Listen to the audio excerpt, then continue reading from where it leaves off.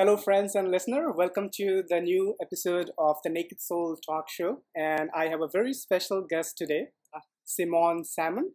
She is an author, a spiritual seeker, and also uh, someone who is currently working, uh, has her hands dipped in the corporate America. And she is Jamaican born New Yorker. So we have a lot of uh, interesting story to hear today uh, about her journey, the book that she has recently published welcome, Simone. Welcome to the Naked Soul.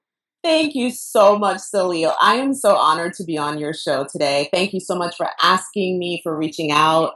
You know, this is really, really special for me. So thank you. Well, uh, I'm honored that you are here, and that's one of the, uh, I think, the benefit of social media. So uh, yes, we got connected on Twitter, and honestly speaking, I have never taken Twitter seriously up until maybe two months back. So, oh my goodness, you're not gonna believe it. I did. It's the same thing same for thing. me. yeah. Yes, exactly two months. No kidding. Believe me, I mean, I've been on Twitter since 2010, and it's 2015, so it's been five years, and I've never figured it out that how can I? I mean, in, in terms of return on investment, that if I spend my time on Twitter, am I really connecting with people with whom I want to connect? Because there, I mean, and it, yeah, so leave it. But you'd be very surprised because now that I actually know how to use Twitter, because I got on in 2013 mm-hmm. when I had my um, spiritual mind fest, my miracle mind fest uh, webinars, and I had no idea what I was doing. But recently, I learned how to use Twitter to my benefit about two months ago. Wow. And yes, you will connect you know, usually what happens when you're on the spiritual path is you're going to connect to the people that are meant to be in your circle anyway. Very and true. so the and the people that actually have been connecting with me are on the spiritual path. Yeah, there's some who aren't, you know, they're doing their thing artistically whatever, but the majority of people that are that are coming into my Twitter account, uh-huh. you know, connecting with me are people on the spiritual path.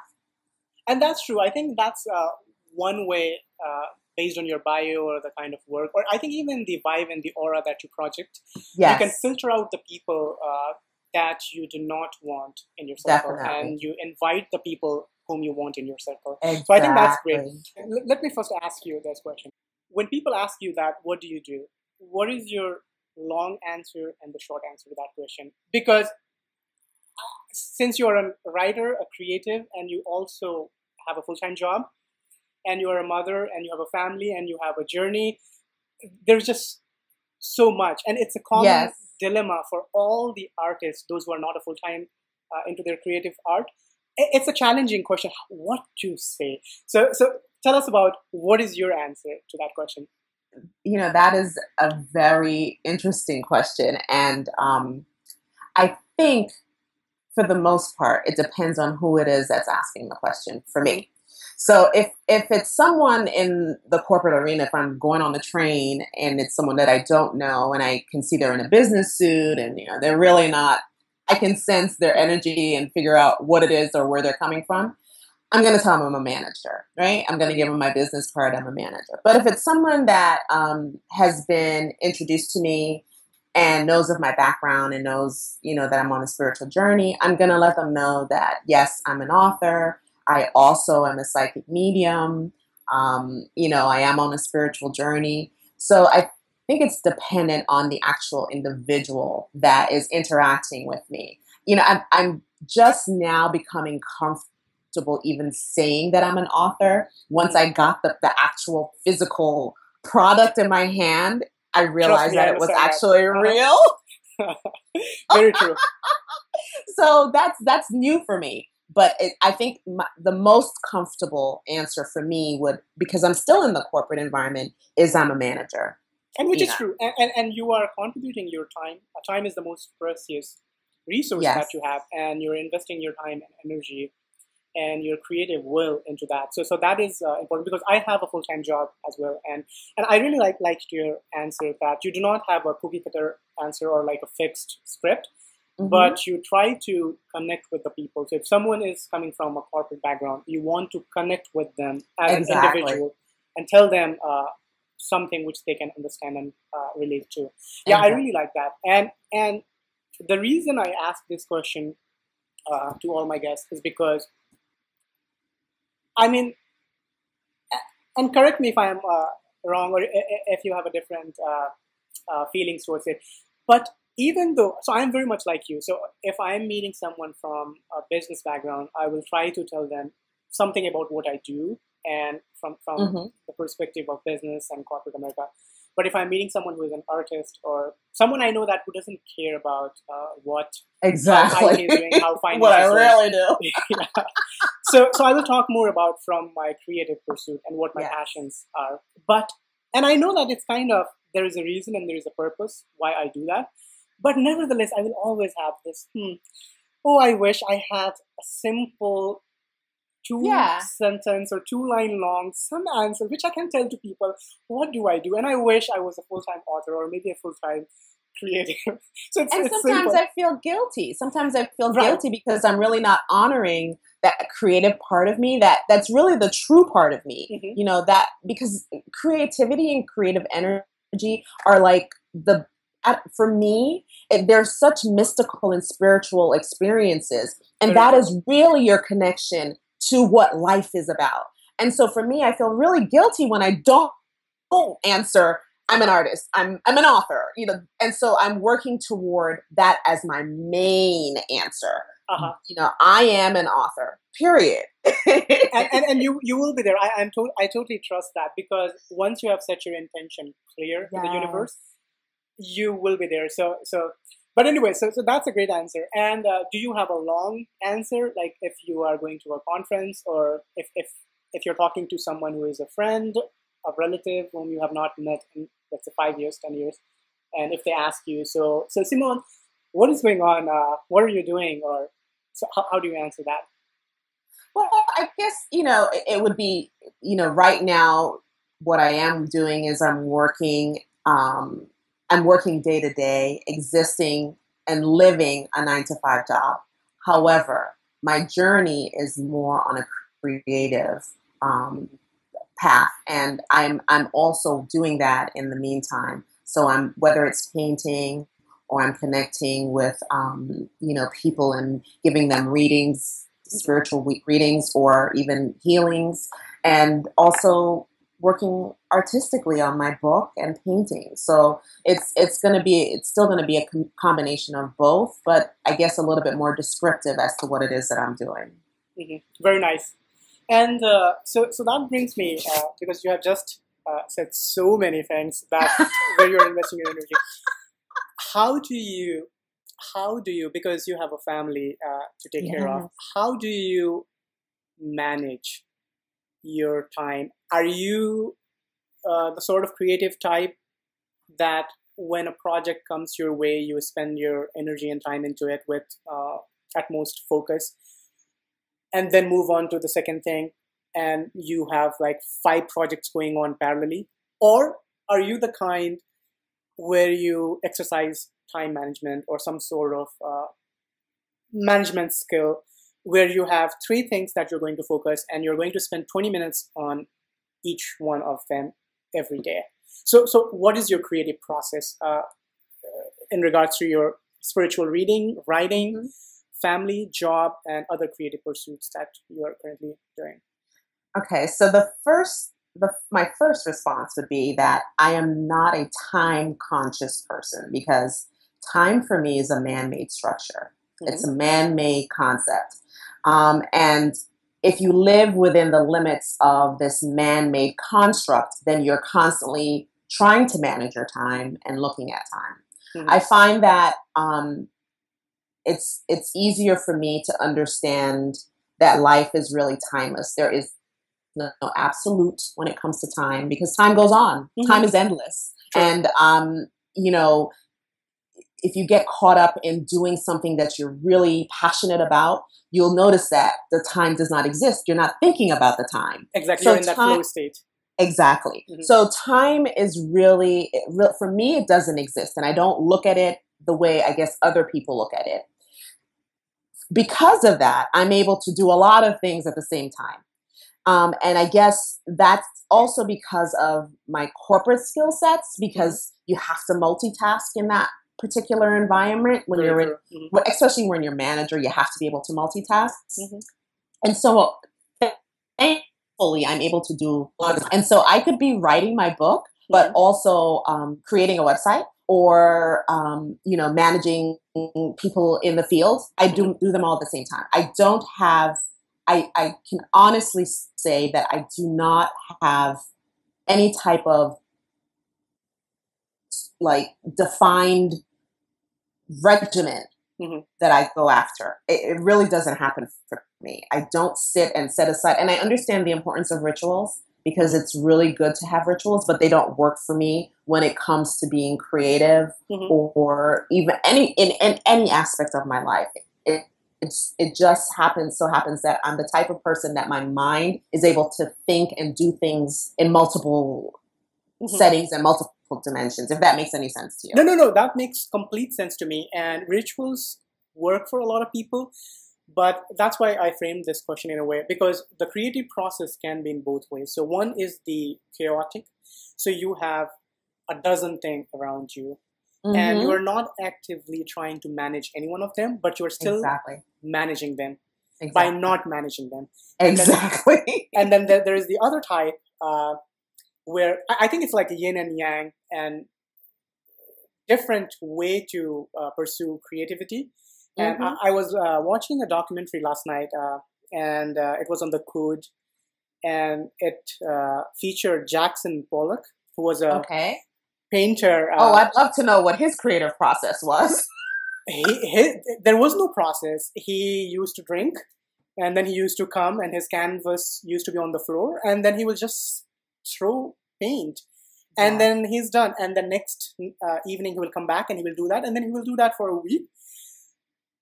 And I knew about him, but I never respected his art up until last night when I really saw because when you if you just google image jackson pollock uh, yeah, paintings, you will just see uh, paints like They're scattered over. Mm-hmm. But you know what is beautiful about that? So, so, so the documentary was on the fractal. So if you, so if you look at Jackson Pollock painting, uh, and he used to paint pretty large, like almost uh, the dimension uh-huh. of a room, so maybe 10 by 10, 12 by 8. So if you look at the whole painting, it looks like okay, there's a bunch of uh, different colors of paint thrown right. over the canvas. Then you take a, a two by two or four by four and you take it out and you enlarge it, yes. you will think that you're looking at the whole painting. And then if you take another uh, small portion from that's that, so fu- I'm going to tell you why that's so funny, but keep talking. that is that. So, so, there was that fractal thing, and it was completely unconscious from, from right. his side. But this is from our interpretation that it was unconscious because he was drunk and he was just doing uh, like gibberish in terms of painting. but no, he he he had understood a right. pattern in the nature. So you look at the tree and you look at the forest, and the forest is nothing but the tree, and then you look at the tree, and then the branches is nothing but the tree, and then you exactly. look at the branches, and the small branches are nothing but the whole uh, image of the tree. So, so, so, so coming back to, uh, uh, I know you have a point to add, but yes. So the creative process that you are mentioning, I think that is very uh, suitable for a lot of creative people who have i think i think it's about the energy if you have a lot of energy and limited time you just can't let that thing that urge sit in your heart it has to come out exactly. so so you have a book going on you have a website uh, going on but but uh, so so you said that something is funny about the fractal thing and, and uh, well, it's painting. gonna go it's gonna go to one of your questions. So I'll wait till you answer me when you until you ask the question. Probably, hopefully, you'll ask the question. But it has to do with what you just said. Okay, but, okay. Uh, let's not wait for that. Uh, tell tell me. I think there is a story or there is a. Uh, tell me about that. Yeah. Well, it's you know when it came i also paint and I, it's it's oh. it's very funny okay because um I didn't know how to paint. I, I never was taught how to paint or anything like that. But one day I decided, oh, I want to I want to paint. I you know just popped up in my head. I want to learn how to paint. So I watched some YouTube videos and I went out and I got some paints and I got canvases and I started painting. And it's like crazy how beautiful the paintings were. So I one of them in particular, I I started it and I just felt like it was unfinished. I didn't touch it again. Actually, I did. I touched it again a year ago, and then I put it back, and it just it just felt unfinished. But that painting, a part of it ended up on the cover of my book. No way. Are you talking about the book cover? You're... Yes. no way. Yes. Okay, so let me come back to the the original question, which has been on my mind since last night. And let me ask this finally. Okay. So so first of all, uh, uh, your book cover is beautiful. Thank you so much. And uh, so and and it's so captivating. There is something about it that it's just in my my uh, mind. I can just close my eyes and picturize it. Oh. So there is a girl or a lady yeah. running, and then there are three bears, two yeah. big ones. One is on the side, and then there is a red horn horse. Yes, a bull. It's actually a bull. a bull. Okay. Yeah. Because, and then there, there's something on the back. So it looks like a mythical uh, creature. Yes. And, and, the color is red, so that's interesting. And and then this this is a countryside. Uh, yes. So and I know the, uh, the the theme of your book is about a journey about transformation. Yeah. So I know that the girl symbolizes that uh, that soul who is about to take this transformational journey. Yes. But my question was this, uh, and there is a lot of questions uh, tied up in this one question. so, is there a significance uh, that each of the bear has and the bull has, and uh, is it just like uh, running away from the bear, or or a group of bear, or is it like there are three bears. So, so is there any significance be, uh, behind the numbers and, and the imagery? Well, well, you know, that is a loaded question. Okay. So, first and foremost, um, the the images that are on the, the painting were mm-hmm. actually done. I commissioned an artist to do that. So, okay. um, Kat Castleman actually created those images, and it's actually of one bear and two wolves, wolf-like creatures, mm-hmm and then a bull. And they're actually characters in the story itself. But numbers do play a big part in the story. So that it's interesting that you even said that. Um, numbers and time are very big in the story because the story itself is not ba- really based on location. It's based on the narratives of all the characters and the main point of views I within see. the story. Uh-huh. And it's and it ha- has a lot to do with the fact that all, all, of these stories are actually happening at the same time, but in different parallel dimensions and different universes. So okay. every so every chapter there's a, a clumping of different um, locations because my hope was that everyone understood that this is all happening, even if it's in New York or India or Jamaica, wherever, it's all happening at the same time. Mm-hmm. So now the numbers threes and those are try when you read the book you'll see that they're try hours or try you know it's a lot of threes or fives. Huh, so okay. yeah. I was anticipating something because it looked like there's some meaning behind that. Yeah yeah it, it is actually. So you know my my hope was to to convey you know I, i'm not a numerology numerology person but i know there's a significance in the number three and also um, in the number five and the number 8 mm-hmm. So, um, so you know, people would have to, I guess, kind of do their own research when it comes to that. But um, the whole point was to show on on the cover itself mm-hmm. certain characters in the book, and that yes, they look almost like people like creatures that could be in our world, but they're from a different world and a different time and this this person this soul that you said is going on a spiritual journey who is one of the main characters uh-huh. is running away from them for a reason a very important reason but that's in the story also. Interesting.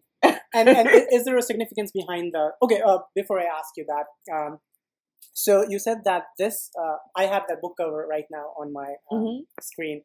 Uh, i'm not sure if it is it will get recorded but i hope it gets recorded because it's so beautiful uh, we'll know that after this recording. So, uh, are the colors also signifying something? Uh, one bear, uh, two of the bear is brown, one sort of like uh, dark brown or black, and one uh, and the bull is in red. So you know, I I really can't say that in, it was an intention. It's just that that's how I saw it. That's the imaging that I saw in my mind uh-huh. when I wanted it created. Now, as as folks ask me as I go through different interviews and folks ask me about stuff, uh-huh. I realize that unconsciously there are reasons. Exactly. Yeah.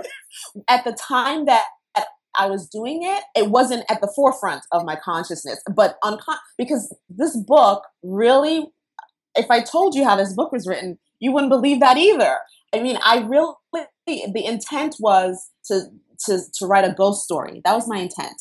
Um, and it was, was going to be based on supernatural events that occurred in an apartment, my first apartment after college, uh-huh um, real supernatural events that took place. So I was like, okay, I'm going to write this ghost story because it happened to me. I can really talk about it because I experienced it.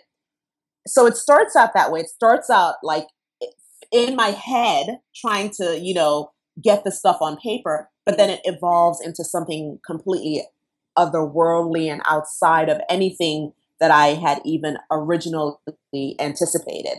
Mm-hmm. Um, I just got to a point where it, it, was almost like it was a story that was channeled through me, and I just actually put it on paper. So a lo- lot of what's going on in the story, I knew no, I didn't organize it. I didn't have an outline. I didn't know what the characters were going to do. I didn't. It wasn't even written in an orderly fashion. There were chapters that were like moved to the back. Some were moved. The first big, the beginning uh-huh. of the first chapter was the last thing that I wrote. Um, so it, it was it was really uh, for me a very mystical process because it was nothing that I'd, I'd ever done before. It was a connection to a force that I am familiar with, but had no idea could actually create this thing that I created. And it's amazing the response that I'm getting from it because it's truly an, an unanticipated event. It really is. Totally. And you made a, such a beautiful point that uh, and for anyone who is also a writer listening to this or watching this uh, interview, you can start with a story and you think that you have got it. But yes. as you begin the writing process and you let your soul do the writing, you let your imagination, exactly. your unconscious bring bring exactly. forward the story. The story might evolve into something very different than what yes. you might have uh, envisioned. So, so that's a yes. very good point uh, you made that. And and uh, I remember, uh, I think it was in your bio or it's on your Amazon author page or somewhere I read. Uh, so it took you about five years to uh, finish this. yeah, yeah. It took. Book. It was about. It took me three. Three. It actually the majority of the book got written in three weeks. It was a, three a weeks? week. Yeah. Wow. a one week vacation over like three year period, right? So, so wow. every week, every year for one week, I would take my kid and his friends to the Jersey Shore, and while they were enjoying everything outside, I would write. And and a lot of this story got purged during those three weeks. So over three wow. years, the three weeks, and then just the filling in part of it um, took maybe another year, and you know the actual uh, finishing of the first draft. So I would say about three and a half, four years the entire story took. But really, I was not working on it constantly throughout those years. It, it was just every now and then I would actually start, you know, write whenever I mm-hmm. whenever I felt the need to write. It, I would write. And and that that that is such a great point that you have made.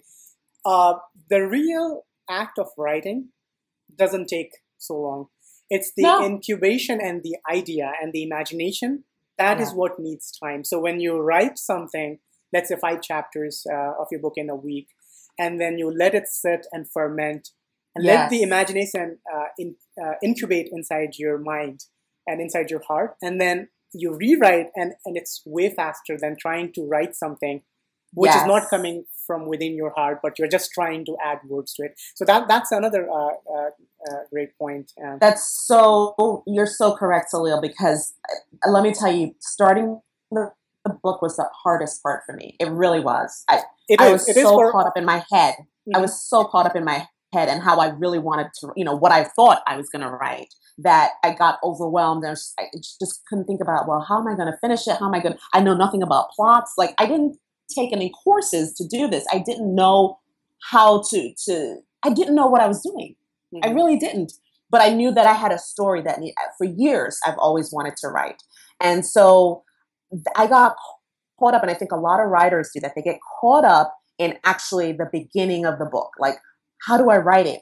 What am I going to say? How do do I write in the first person? Do I write in the third person? How am so I going to have all these plots come out? Like, how am I going to make it suspenseful and and thrilling? And you know, you get caught up in it. It's like I tell, I have two people that I'm working with right now. I said, don't forget all about that. Mm-hmm. Don't worry about that. Just write.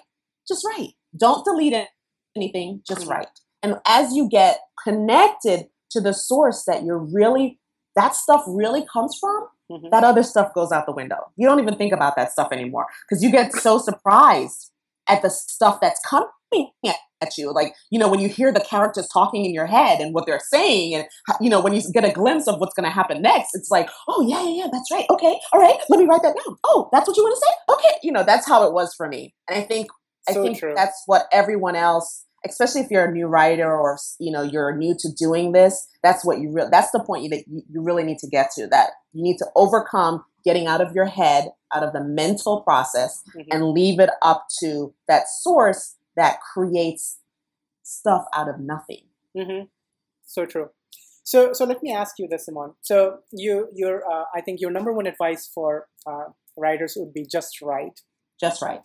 Uh, what if you have to give three advice um, mm-hmm. to writers? Uh, what would be the other two?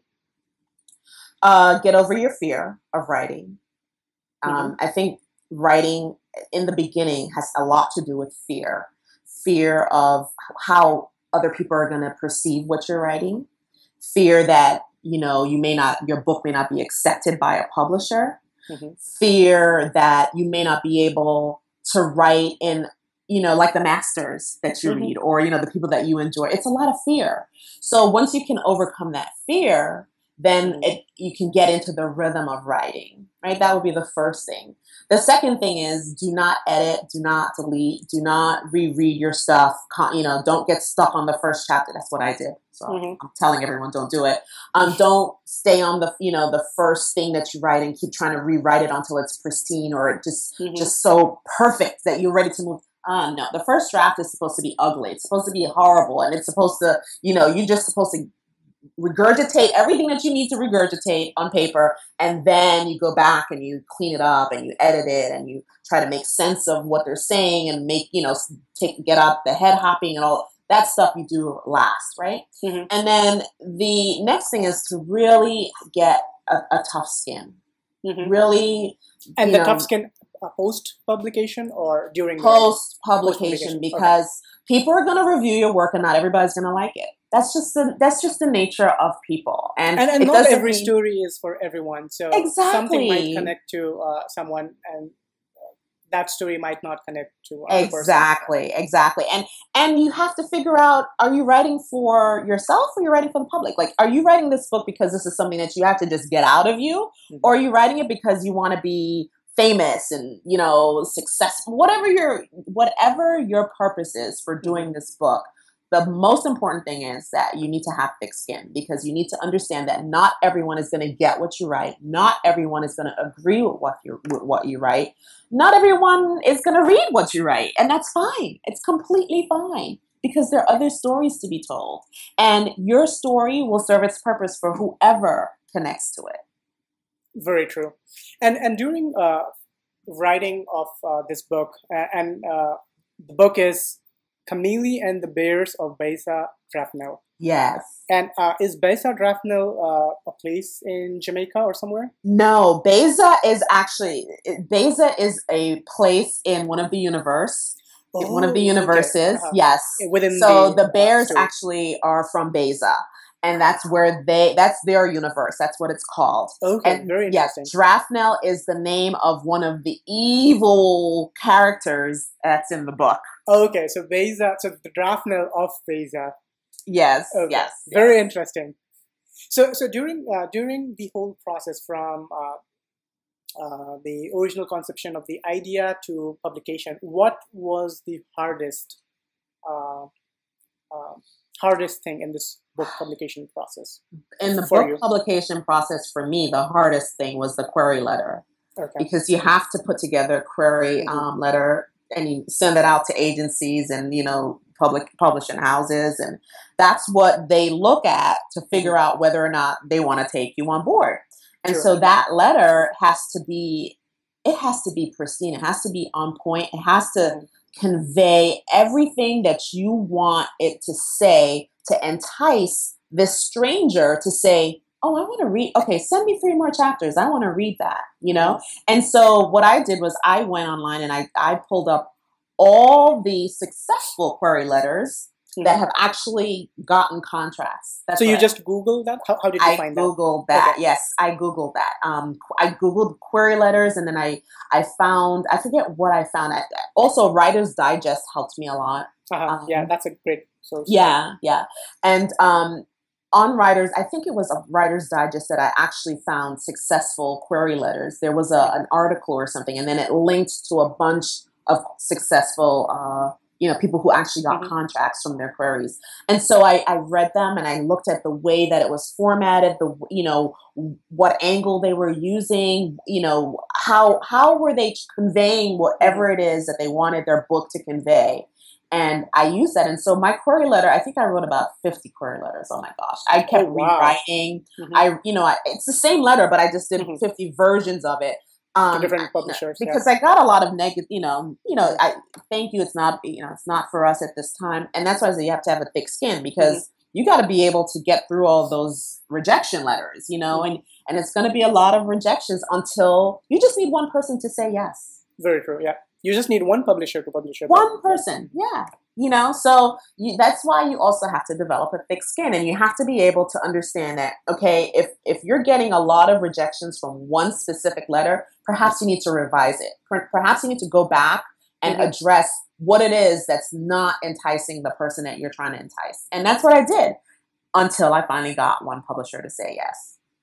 Very true. And and uh, what would you say that uh, was in your query letter which uh, made it got accepted. I mean, even though it took rejection, which every query letter does. Yeah. But do you think there was something, uh, or uh, you wrote it some way, or you added a passage or a paragraph, or the way you form? I mean, told your story. Well, you know what I learned is that um, a lot of publishers are looking for your platform if you have a platform. Interesting. And so the the beginning, uh, you know, in the beginning when I first uh, sent out the original sets of mm-hmm. letters, I didn't include my platform, my social media platforms. Interesting. Um, and I noticed that after I did, then the rejection letters they they had a different uh, a different twist to them. It was it wasn't just I was you know rejection. It was more you know this sounds good you know, and, and it was just a different response to it. And then um, the more I included in that hmm. particular um, part of the letter, you know, I first I just included maybe the FB, and then I said, okay, let me include Twitter, let me include every, and so I listed all of my um, mm-hmm. platforms and how, and that I would assist it. You know, they're looking to see that you are interested in also assisting in marketing because it's not that you send your query out, so you get accepted, and then they do all the work. You got to do a lot of the work yourself, and you have to be, you know, mm-hmm. open to that, and you have to let them know that you're open to assisting in in marketing in whatever aspect possible, so that you can get out, you can get your name out there. Mm-hmm. And and when I turned that around, when I included that, so that was included with also revising the way, like I I kind of I, I made it more active. The, the sentences were more active mm-hmm. instead of passive in the query letter. And if if they're active, then it's just like a book. When you're reading passive, they call it lazy writing. Yes. You, you don't want to keep moving throughout the book. But if it's active, then you get engaged. And so I changed the wording so that it was more active, included the platforms, and then I got a better response. Very nice. Yeah. So that, I think that's another uh, great advice. Uh, thanks for that, Simon. And I think that's a great experience. So next time, and now that you have a book behind yeah. you, and I see that it has got great reviews on Amazon already, yes. and the cover is beautiful. The the uh, the plot sounds very interesting. Uh, Thank you. Uh, I have to. Uh, shamefully admit here that I I will order it right after this interview. Oh thank you for your support. I didn't expect you to, but thank you for your support. The, the, the, honestly, it, it should have been that I should have the book already with me, and I wanted to, but I could not because of my own laziness. Aww. But now that uh, knowing more about the plot, I mean, it, it definitely sounds very interesting. Um, thank you, thank you. Okay, so so let let's switch uh, gears and uh, talk a little bit about uh, your journey, and then we'll come back to some rapid fire questions. So, uh, so when did you move to New York, and okay. what uh, made you move leave Jamaica and come to the United States? Okay. Uh, well, I lived in Jamaica until I was 11 years old. Oh, so you're, you're a kid. Yeah, I, I, went to high school. You know, it's a different public school. The education system is uh-huh. different down there. So I was actually in my first year of high school. Mm-hmm. And um, my mom, get, she actually she actually made me make the decision. So uh-huh. um, to either go back there or stay here. And as a kid, of course, you want to stay in, you know, as they call it abroad. You want to stay abroad. You want to live abroad. Uh-huh. So um, I said, you know, I, I want to live here. I want to live here with you because my parents had left Jamaica um, at a very young age to make money to pursue a better education for uh-huh. themselves. And so they left all their kids. I don't I don't know where you're from, but in, I'm from India. Yeah. Okay, from yeah. India. Okay, my grandmother's from India. Wow. So yeah. so and and in the story, one of the main characters is a grandmother from India. So oh, as wow. you can Look see, at all the connections. but um, so they left. You know, my my mom and dad. They had four kids. Myself, two brothers, and a sister, and they left us with my mom's dad. And as kids, you want to be with your parents, right? So at 11 when she said well do you want to go back or do you want to stay here? Of course i'm going to say yes i want to stay with you. So we stayed in in america or the the us as everyone says now but it, we stayed here. What was the other part of the question? So so you you uh, and, and, did you come directly to new york or you came? No actually when we uh, here's the other thing uh, from the age of 8 to 11 i think it was at 8 we first, uh, maybe it could have been younger, we would come to New York every um, summer and stay with my parents. So um, during the summer, we would stay the whole summer with our parents and then we would go back. And then at 11, we came here permanently. But when we got here permanently, um, we were scooted off to my mom's mother. Mm-hmm. And um, we lived in Chicago for I believe it was like a, a, year and a half. Interesting. And then we came back here. I think I think my parents um, had I don't know what I never asked them actually, and I will ask them now that I'm thinking about it. You know, why did we end up living in Chicago? I don't know the answer to that. Um, I don't know if it was because that you know my mom had me when she was 16, so she was still really young, and uh-huh. maybe they just weren't ready to have a family. A family. Mm-hmm. Yeah. Um, so, but anyway, after the year and a half, we ended up back in New York, and then permanently lived with uh, my parents. Interesting. Do you think? Uh, so, so uh, New York is a city, and you mentioned uh, that most of your writing took place when uh, you were on a vacation. Yeah. Uh, was the vacation to a countryside, uh, nature, or to the beach? It was. I love the beach. I love nature. I love the beach. And where I live, upstate New York, is very. I'm very. I'm surrounded by nature. Well, you were um, upstate New York, so yeah, that's very yes, beautiful. Uh, yeah, I'm surrounded by nature, but I I find that when I'm close to the water, mm-hmm. it gives me a lot of inspiration too. So, uh-huh. um, I when I I I picked. Well, I chose I chose the Jersey Shore for two reasons. Because my son that's where he loved to go when before he graduated from high school and he and his mm-hmm. friends loved to go there but also selfishly because i knew whenever i was closer to the water mm-hmm. that connection somehow spiritually enabled me to write more interesting and and let me ask you this i've never asked this question to anyone uh, just a curiosity uh, do you think from your experience uh, from a spiritual perspective uh, the element, the basic element like fire, water, earth, uh, air, uh, and your personality type or your body type, uh, uh and I'm talking from a creativity perspective, has some impact. So, uh, if you were, so your inspiration came through, I would say, the water element, uh, but yes. let's say if it was fire or air or earth, do you think the element or the surrounding has some sort of impact on the direction your story and the character oh, definitely.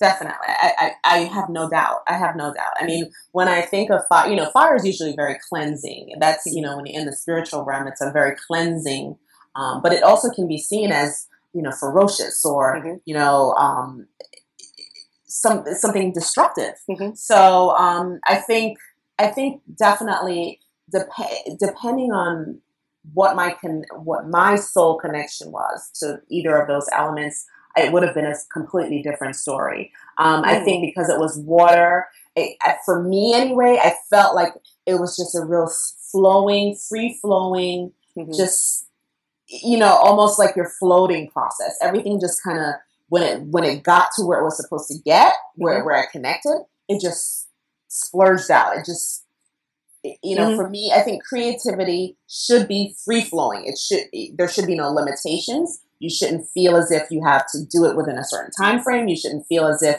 you're constricted. You should. It's when you when you're stressed or you're thinking about those type of constraints, mm-hmm. it impacts the creativity process. So it should be for me anyway. I, I can't say what it's going to be for you or for anyone else, and I don't want to taint other people's idea of how to create. Mm-hmm. Um, but I believe, for me, I firmly believe that it should be free flowing. No one should be, no one should tell you how to do it.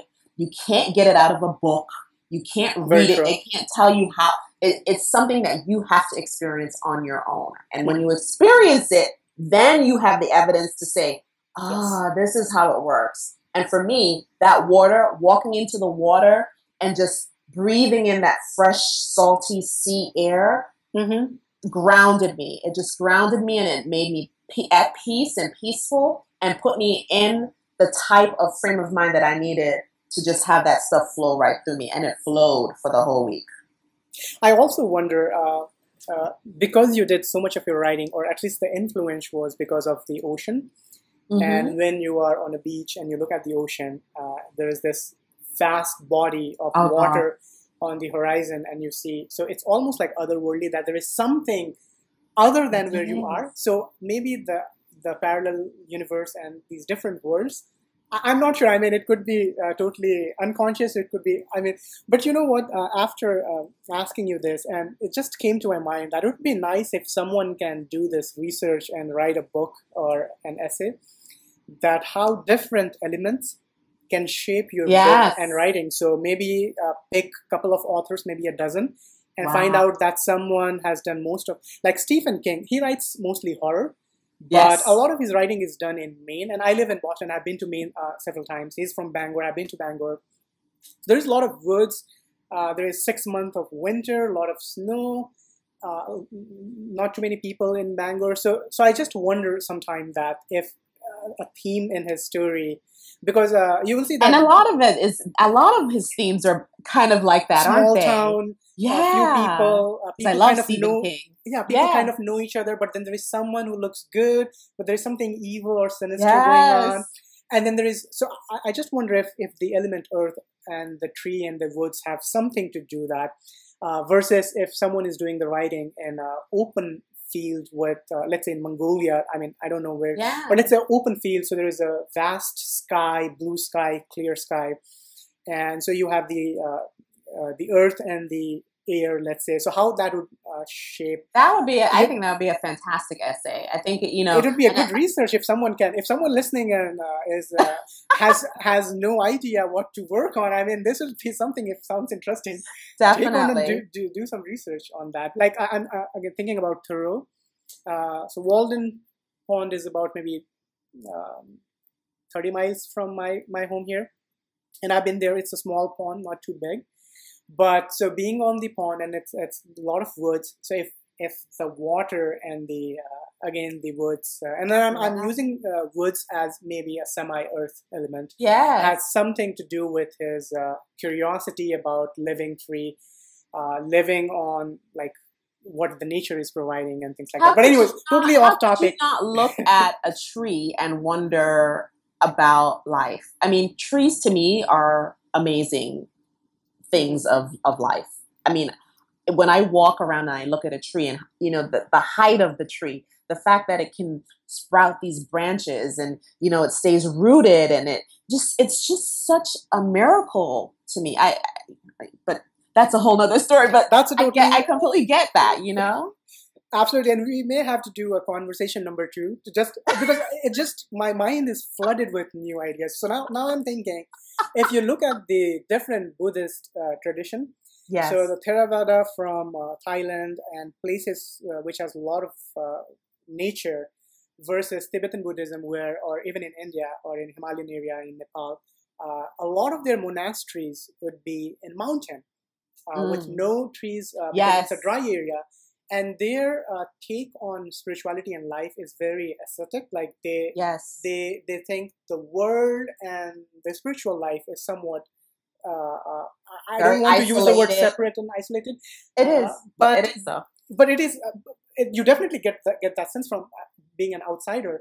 Yeah. Versus a lot of spiritual retreat, if you look in the West, especially in California, um, in in the East Coast here, they would be with a lot of nature. So, so um, a lot of spiritual retreats uh, here, uh, be it meditation, be it yoga, be it mm-hmm. any spiritual uh, path, they are uh, built on a mountain, but with lots of greenery and yes. woods. And their take on life is uh, that you integrate and you have this yoga, you have this meditation, but then that is to purify, that is to keep your ego and self detached from your original uh, or the true self.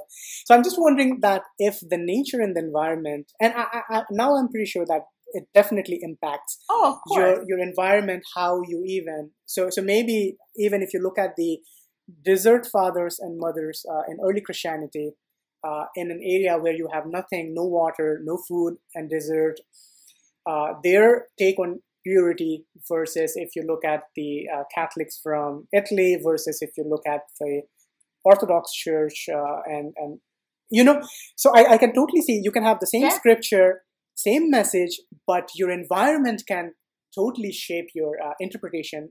Uh, Definitely, and it well, may happen with the book and the author. But anyway, I mean, uh, that's a whole nother conversation.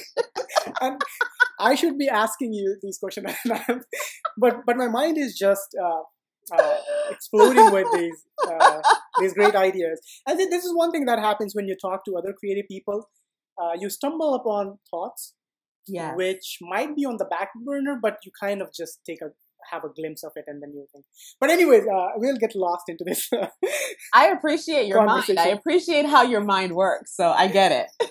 I, I, think I'm I'm kind of doing the clustering. Uh, clustering is an idea uh, popularized by Gabriele Rico. She, she's a uh, she had a very popular book on, I think, on writing the natural way, or she's a oh. professor at uh, San Jose uh, State University. But anyways, so I think it, was the clustering, active act of clustering. but anyways, uh, since we are on the topic of book and uh, um, uh, resources and uh, tips for writers, and also for us or someone who has written maybe a dozen book, doesn't matter because the, each creative project is a new beginning, a new start uh, in itself. Yeah. What are your uh, top three, top five go-to books on creativity? And you can also expand it: uh, leadership, mm. management, family, spirituality. But but let's begin with uh, I would say uh, writing and creativity. Wow. Um, and you can take I, your time because I will I will just take a note. Yeah. as far as writing and creativity, um, hmm, I really cannot admit to a, a source because, as I said, um, my source was my intimate connection with source energy itself. Mm-hmm. Um, I, I, have bought books on how to write. Um, they don't. They didn't help me at all, mm-hmm. and so I, I really cannot I there is no one book in particular that I can say you could you know that would be the book that I, I would go to for creativity. No, there there really isn't. I think mm-hmm. creativity, like I said, is an individual process. It is something that you tap into. It is something that you personally have to tap into with that source that creates nothing, something out of nothing all the time. It, it's the same. It's the same source that created the bridges that cars drive over, or mm-hmm. you know, the same source that now people are wondering about quantum physics, and you know, oh, it's the same source that you know there are atoms, you know that they're proton, protons, but you can't see them, but they're exactly. there, right? So it's it's that source that you connect to. So there's nothing that I can say. There's no one book or no one source that I could say here, you know, definitely check this out. It's going to help you. That's something that you're going to have to tap into on an individual level. And it could be sometimes misleading also when people say that uh, if you read this book, you will become creative or you will become a exactly. great writer. And in truth, there is no such uh, thing. No. Yeah. yeah no. Very it's, it's it's it's like you know the Bible, you know, and I, I don't I don't want to bring up religion or anything. I'm not a religious person, but I was I went I, listen. I grew up in a church, mm-hmm. so I know from whence religion is comes and how you have to aspire. But I mm-hmm. it's not something that I am into. Mm-hmm. Um, but it's the same thing as people interpreting the Bible, right? Mm-hmm. It's it's it's an individual interpretation. I can read the Very Bible true. and see something that you don't see. And so, you know, you go to church and the minister is interpreting it his way and telling you this is the way. No, no, no, no, no, no, no. It's your, it, go read it yourself, figure out what it's saying for you, and you, you use it that way. You know? Very true. It's just a form of control as far as I'm concerned. Um, as far as other books that I think um, I really, I like Think and Grow Rich. Mm-hmm. Napoleon Hill. Uh, Napoleon yeah. Hill. Yes, mm-hmm. that's, you know, I, I read that. Um, a friend of mine introduced me to that book years ago and the first time I read it, I didn't really get it. But mm-hmm. then um, as I started on my creative process and I've read it multiple times, mm-hmm. now I get it. You know, now now that I know that something exists outside of me that a lot of people don't understand, mm-hmm. I get it. I completely get where he was coming from. Mm-hmm, mm-hmm. So that would be one of my main. I, I love that book. Yep. Yeah, yeah. And my, my son is actually reading it now. The E Myth revisited, and I can't remember the name of the author right now. is a great book if you are entrepreneurial, mm-hmm. and um, it's really about um, the different types of uh, business personalities. So you can have someone who mm-hmm. is an entrepreneur, a pure entrepreneur, mm-hmm. or you can have someone who um, is a technical person mm-hmm. who wants to be an entrepreneur, but they don't understand that they have mm-hmm. to not they can't work in the business; they have to work on the business. You know, that's the whole thing. Yeah, I'll have to check. and it, it teaches you how to work on your business and not in your business if you want to be a true entrepreneur. So, so uh, uh, tell me, what is the uh, difference uh, between working on the business versus working so, in your business? Here's the thing: I can let's say I have a business, mm-hmm. and um, I can make the choice of if I go out and get an account, mm-hmm. I place myself in the account and I work at the account. Or I can okay. hire people uh-huh. and, oh, and put them in the account uh-huh. so I could go out and get more accounts. Right. And so you have a lot of people who are self um, self owned, you know, they have their own uh-huh. business. And um, because they, they stay limited because they're actually doing the work as opposed to hiring people who have the expertise that's needed and placing them to do like, you know instead of me creating my website i could have hired someone to create the website right? And because they have that set of expertise or skills that they can and they can devote all their time to it so i can devote my time to painting or writing uh-huh. right? It's the same concept. A lot of people sit in their business they want to you know they want to start a business but they don't know how to remove themselves from the business. They they're working in the business as opposed to working on the business very good. Yeah, I, I really like that, and it makes sense.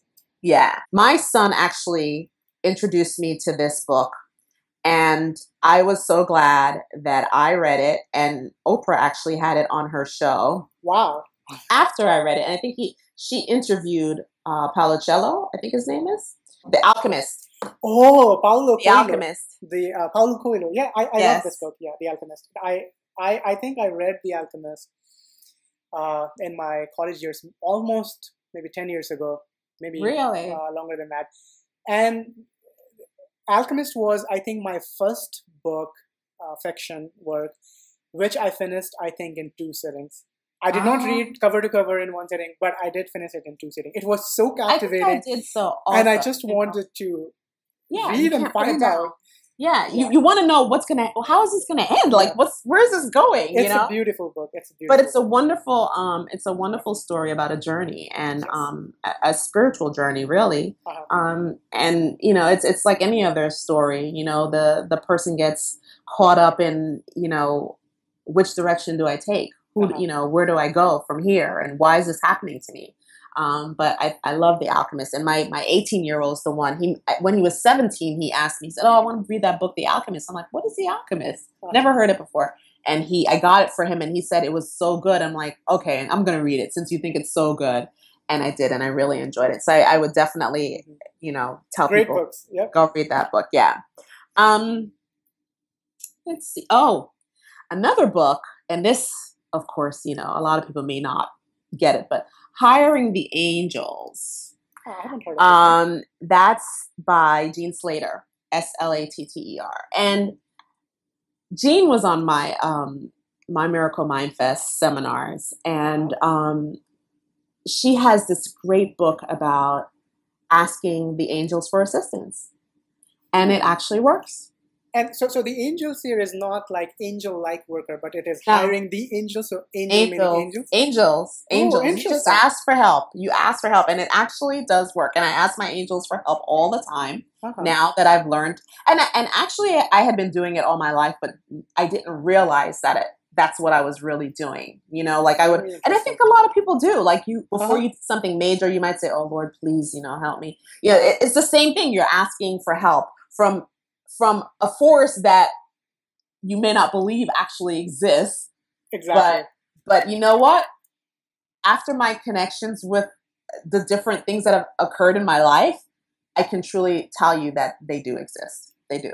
Very and so that's a great book. Um, I think everyone should read it because it really tells you you can and you ask for assistance for every. I ask for assistance for every everything that I do. Everything. When I before I got on the call with you, I I reached out and I said, please, I want you to be with me. I want you to guide me. I want you to talk, you know, speak through me so that I'm poised, I'm articulate, and you know, all the Mhm. things that I want. And so they're helping me right now. And that's what you do. You ask for assistance at all times. Wow. So, what is the genre of this book? Is it nonfiction, I self-help, think it would be spiritual self self help, probably. spiritual self-help? Yeah. Very good. While we were talking about hiring the angels, uh, and I know it's not uh, directly related, but I remember earlier uh, you mentioned about something that happened in your college year. Uh, Okay. Which is linked to also your uh, book and the story. Do you mind uh, telling what exactly happened and how did that shape your journey? Yeah. So And when did that happen? people are gonna think I'm crazy. Okay. All right. Um no, so I, when I graduated I don't think you're crazy, and I think uh, a lot of people will relate to that. And in fact, those who have a similar story and they have not spoken it out, they have not shared it, or they have maybe even started to doubt it. That Yeah. oh, something happened to me ten years ago, but I don't know if that was just a dream or, or real. You know, as time goes on.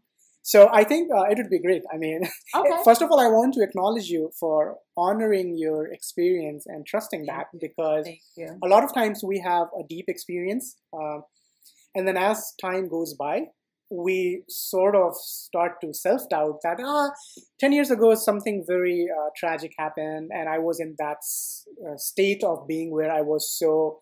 Uh, awakened and enlightened, but I don't know if that was just psychological or mental, or I don't know because I don't, I can't recreate that state, right? You know what, what I mean? Uh, Yes, it happens with a lot of people. You I- I used to meditate, now you it. left, and now you're like, oh, I don't know if that was real or if that was just a psychological. You know, Yes, yes. I, I get it. I, I completely understand. Um, okay, so here's what happened. I graduated from college, moved into this beautiful brownstone um, Mhm. apartment in Brooklyn. And um oh my God. Brooklyn. and and the book actually starts out with this story, but I, as I said, it changes. So I moved into this apartment, and I start hearing like kids running up and down, you know, in the house, and there are no kids in the house, no Hmm. kids in any of the other apartments. I constantly hear this woman doing the musical scales over and over. She's just singing do re mi fa sol la over and over at all times of the day. I'm Someone "Who's in uh, in the apartment above uh, upstairs. no, it was no one. No one else could hear this but me. I Oh. would. I said to my roommates, "Do you hear that?" And they were like, "No. What are you talking about?" I was like, "You don't hear that woman singing the thing over and over." No, they don't hear it. Mhm. So all these little things would happen. You know, things would go missing. Um, crazy stuff. So what really, where it really culminates is one day it was raining hard outside. My roommates were at work or they were, I maybe may have been out, but it was pouring outside and I was in my room and I'm, I'm in my room and I hear footsteps going up and down. It was a duplex apartment. So we had stairs inside the apartment. Mm-hmm. And I would hear like people running up and down these stairs. And I'm like, who's in the apartment? I'm here by myself. Oh my God, I'm being robbed. Something's going on. You know, I'm panicked. I'm panicked, right? And after a while, what happened was I ended up calling the police. Wow.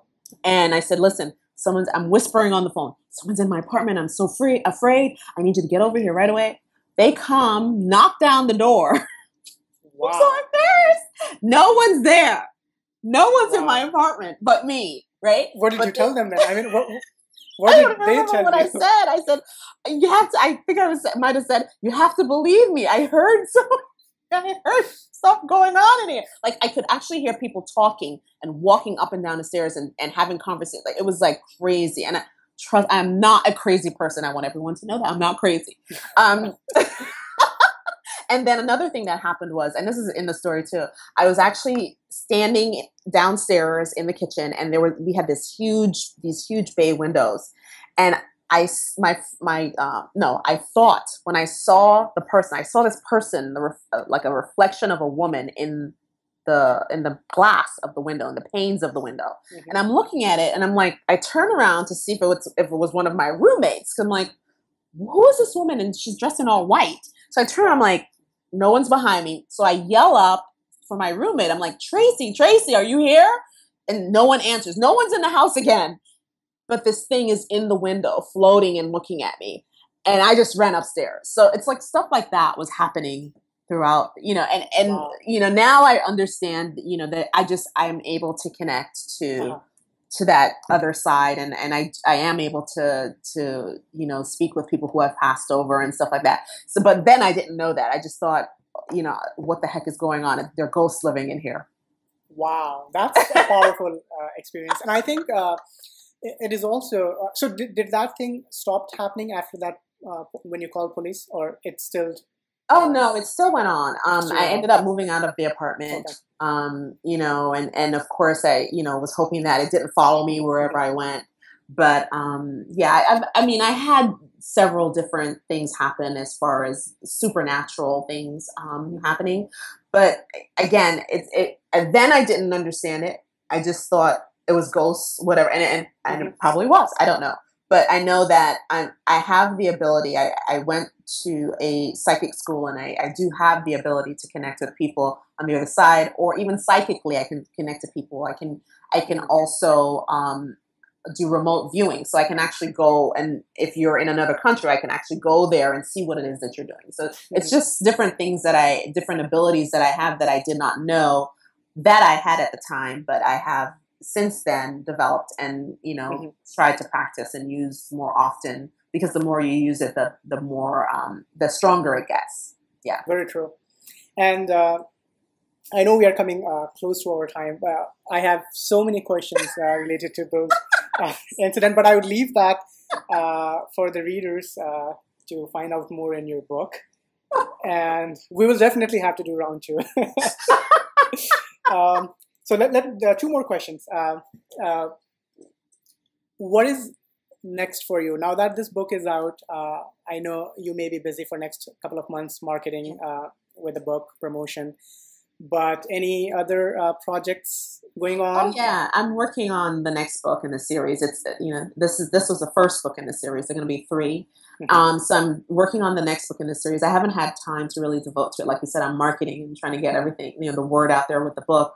Um, and and I, I have started it the second book and the first chapter is very violent and I don't know where it's coming from and again I don't know these things until I start writing it and then everything flows so um, but it's going to be an interesting book um, and I'm also working on another book which would be nonfiction and that will be based on my my spiritual journey and you know my ability to um, to psychically connect with people. So that's going to be um, nonfiction. Very good. Any any plans when you might? Uh, uh, I'm hoping that they'll be done, you know, within the next six to twelve months. I'm I'm trying to get them done as quickly as possible. Um, I'm not going to wait for the vacations to to mm-hmm. write. You know, I'm going to find the time to write, hopefully. Um, and hopefully, you know, um, my book has been, it looks like it's selling pretty well. So I'll be able to leave corporate America pretty soon and, and just be able to devote full time to I, I, totally trust that. And uh, given your uh, passion, and I think a lot of time it's about finding your inner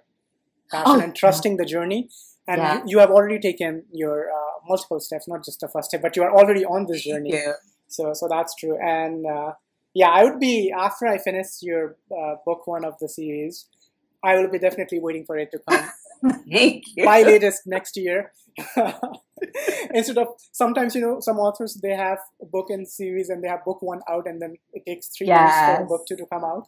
Yeah. So so definitely I think uh, next year would be uh, great. But again, uh, creativity uh, it's hard to. Uh, yeah, you can't put time limit on there. Yeah, yes. you know when when it comes, it it'll come. Mm-hmm. but that's my intention.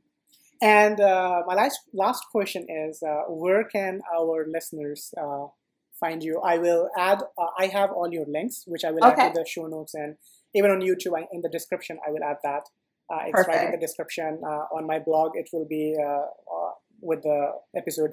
But uh, for people, those who are listening, what what is the, the best way to connect with you and people to find you? Yeah, sure. Um, you know, the best way to find me, of course, would be on my website, um, ssalmonauthor.com. Mm-hmm. Um, and you can connect with me on Twitter. I have a, a great community on Twitter, and um, my handle is at Miracle Mind Coach without the H on the end. Mm-hmm. Um, but those are, I would say, the primary ways to get in contact with me. Well, great. Uh, definitely, and I'm connected uh, with you on. I just followed you on Instagram today morning. oh, perfect! Thank you. I found that, and I, I really uh, liked your uh, uh, Instagram ga- gallery. Very uh, aesthetic, I would say. It's it's not as big as others yet, but I'm working. Even that's the last thing. That's the last platform that I've actually uh-huh. connected to. So I'm gonna tr- do my best to try to build that up right now. So we'll see what happens. But thank you. I appreciate that. I had uh, really a blast. I really enjoyed hearing your stories. Too. I've had a wonderful time. You've had you've asked, I think, the most relevant of questions, and mm-hmm. and I think that this was quite engaging. I had fun. I loved talking with you. Thank you so much for allowing me to be myself and to to say the things that are on my spirit and within my heart. So thank you. Yeah, thank you. And until then, I will be reading your tweets and now I have your Instagram, so I'll be commenting and checking on that. Perfect, perfect. And I'll I'll connect with you on I think I connected with you on several, but I'll make sure I connect uh-huh. on every of them. Yeah. Well, I will look forward to that. And you have a great rest of the day. It's a beautiful weather out uh, today. So thank you. You too. Can't wait for the next time. And signing off right now. Same here. Bye, Simon. Bye bye.